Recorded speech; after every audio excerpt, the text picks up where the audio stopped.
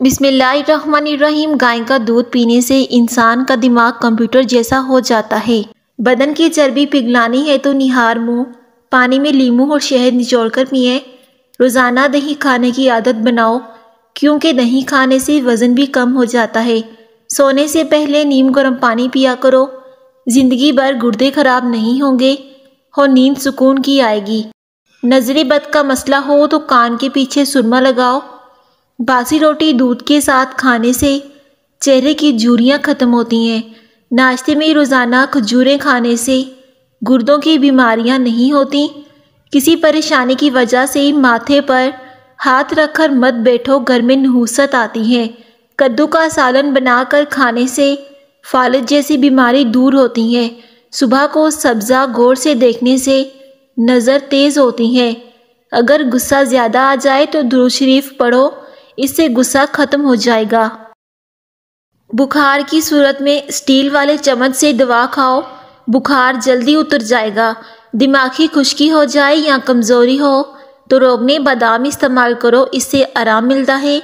सुबह को जल्दी उठने से दिमाग तेज़ होता है।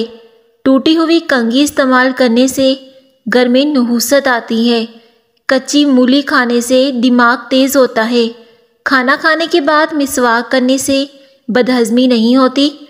जो शख्स अल कादरू का बकसरत विरद करेगा, उसकी तमाम ख्वाहिशात पूरी हो जाती हैं। खाना खाने के बाद पंद्रह मिनट तक चल लिया करो, सेहत अच्छी रहती है। बुढ़ापे को रोकने वाली चंद अशिया, बुढ़ापे को रोकने वाली चंद अशिया, रात के वक्त पानी में दो खजूरें, बादाम, काजू और किशमिश भिगो कर रख दें। और सुबह को इस्तेमाल कर लें सारी ज़िंदगी बुढ़ापा करीब नहीं आएगा। छोटे बच्चों को जल्दी सुला दिया करें, क्योंकि रात सोते हुए दिमाग की ग्रोथ होती है। गन्ने के जूस में लीमू निचोड़ कर पीने से चेहरे की जूरियाँ गायब हो जाती हैं। रोज़ाना चार खजूर खाने से कमज़ोरी से छुटकारा हासिल किया जा सकता है। एक लीमू लेकर काट लें और पिशानी पर मसल दें। देखते ही देखते सर का दर्द गायब होने लगेगा। सर के नीचे दाई तरफ़ हाथ रखकर सोने से नींद जल्दी आ जाती है। शहद और प्याज के अर्क को मिलाकर बालों में लगाने से आपके बाल गिरना बंद हो जाएँगे और मज़बूत भी हो जाएँगे। ज़ुबान पर लहसुन लगाने से आपके मुँह में छाले नहीं बनेंगे। जिस घर की औरतें अपने बाल संवार कर और छुपा कर रखती हैं ऐसे घर में कभी लड़ाई नहीं होती और ऐसे घर में रिस्क का इजाफा होता है। चावल खाकर ऊपर से दूध पीने से पेट की खराबी हो जाती है। दोपहर को एक घंटे की नींद लेने से दिमागी अमराज से तहफ़ मिलता है। रोज़ाना चाय पीने से आपके बदन में मोटापा आना शुरू हो जाता है। जो कपड़े पहने होते हैं, उनसे मुँह पहुँचने से इंसान जल्दी बूढ़ा हो जाता है। एक गिलास नीम गर्म पानी में इस पगोल डालकर पी लो। चर्बी कम होगी और कब्ज खत्म हो जाएगी। पीले रंग की लाइट नज़र को कमज़ोर करती हैं। सब्ज रंग को गौर से देखने से नज़र तेज़ होती है। चॉकलेट ज़्यादा खाने से रंग सांवला होता है। प्याज की खुशबू सूंघने से दिल को ताकत मिलती है। जिसका पेट भैंस की तरह बाहर आ जाए, तेल अपने अंगूठे पर लगाकर अपनी नाफ में लगा दे। एक हफ़्ते में चर्बी पिघल जाएगी। जो लोग ज़्यादातर वक्त बैठकर गुजारते हैं और वर्जिश नहीं करते, ऐसे लोगों को फालिज का खतरा ज़्यादा होता है। गंदल और पालक का सालन बनाकर खाने से वज़न कम हो जाता है। बकरी के दूध में सौंफ मिलाकर गर्म करके पीने से बुखार उतर जाता है। बुरे रंग की आँखों वाले बच्चों का दिमाग तेज़ होता है। घुटनों पर नीम गर्म जैतून की तेल से मालिश करो घुटनों का दर्द खत्म हो जाता है। उल्टा सोने से पेट खराब हो सकता है। पानी की कमी सर दर्द को मुस्तकिल आर्जा बना देती है। सुबह के वक्त लंबे लंबे सांस लो, दमा नहीं होगा, सौंफ चबाने से मुँह से बदबू नहीं आती। अंदरूनी चोट ख़त्म करनी है तो पानी में नमक मिलाकर गर्म करें और चोट वाली जगह पर लेप करें। इससे दर्द में कमी आएगी।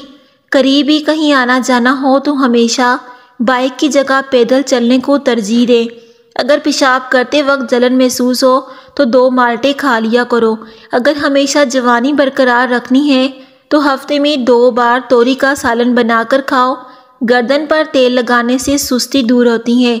नाफ में तेल लगाने से वज़न कम होता है।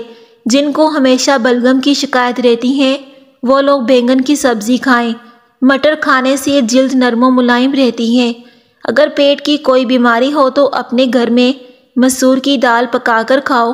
अखरोट खाने के बाद हरगिज चाय ना पिए, इससे शदीद खांसी हो सकती है। औरत चॉकलेट खा लिया करे, इसकी जवानी दोबारा वापस आने लगेगी। दूध के अंदर छोटी मक्खी का शहद डालकर पी लिया करो। चेहरे की शताबी तादेर बरकरार रहेगी।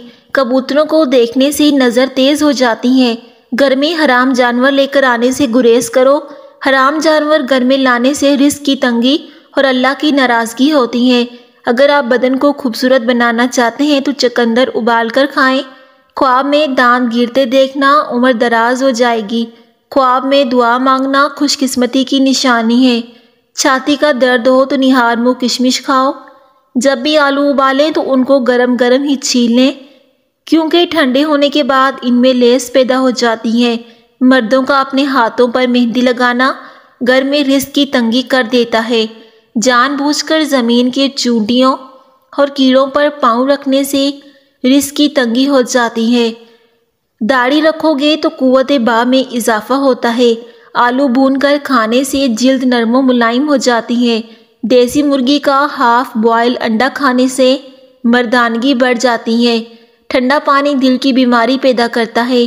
करेले का पानी पी लिया करो, चेहरे के दाने दाग धब्बे खत्म होंगे और आपका चेहरा साफ़ शफाफ हो जाएगा। लीमू के छिलके नाखूनों पर रगड़ने से नाखून मज़बूत हो जाते हैं। दिन में चार पाँच मरतबा आहिस्ता और गहरी सांस लेने की कोशिश करें। इससे दिमागी सुकून हासिल होता है। घर में मक्खियाँ हों तो बीमारियाँ आती हैं। अगर आप रंग गोरा करना चाहते हैं तो दूध में कलवंजी पीस कर डालें और हल्का सा गर्म करें। रात को सोने से कबल चेहरे पर मालिश करो, सुबह को किसी म्यारी साबुन से धो लो। रंगत साफ़ और निखर जाएगी। जो भी दवा या चीज़ ज़ुबान को कड़वी महसूस हो तो जान लो, उसके अंदर खूबसूरती और सेहत की हज़ारों जखाइन मौजूद हैं।